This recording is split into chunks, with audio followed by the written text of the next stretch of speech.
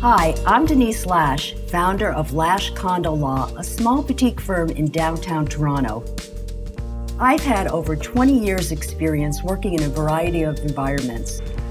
I practice in house for condo developers, small, mid size, and large Bay Street law firms.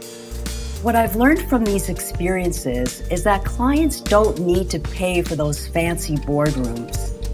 It is more efficient and effective to go to our clients. I've assembled a small team of some of the best lawyers around that have chosen to practice exclusively in the area of condo law.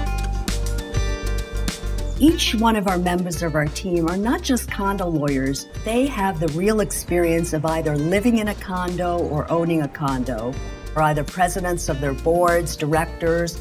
So they have that experience to offer our clients. Sometimes simplest things are the most important for our clients. When my clients want a response, they want to make sure that they get the response quickly.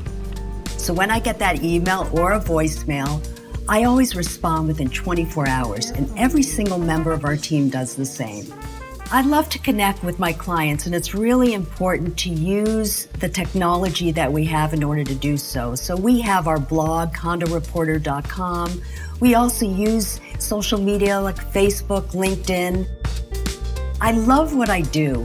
I've been doing this for over 24 years, and I've had my clients, many of them for over 24 years. It's about people and community, and not just legal advice and issues. And that's the reason I started Lash Condo Law.